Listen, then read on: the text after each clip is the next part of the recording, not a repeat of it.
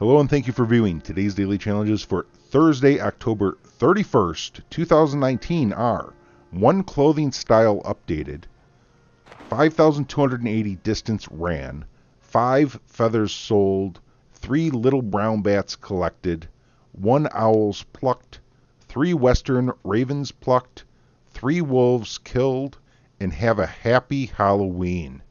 You can see right now where Madam Nazar is located. She is north of Annesburg at Roanoke Ridge. Here you can find two separate owl spawn locations, which actually spawn during the daytime. And normally at night, though, you can just look up just about anywhere in the game and find an owl flying around at night. But also a nighttime owl spawn you can find at Cattail Pond perched on a log there. So day or night, you should be able to find an owl. And then wolves, you can find those in many locations. This is just a few locations where you can find wolves.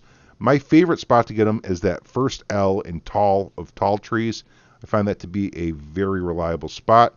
And then bats you can find at the very mouth of the cave at Elysian Pool or in a cave over by the R in Roanoke uh, Valley and also you know they fly around at night with owls too. So i mean like at night you could go do some you know hunting in the sky get the owls and the bats.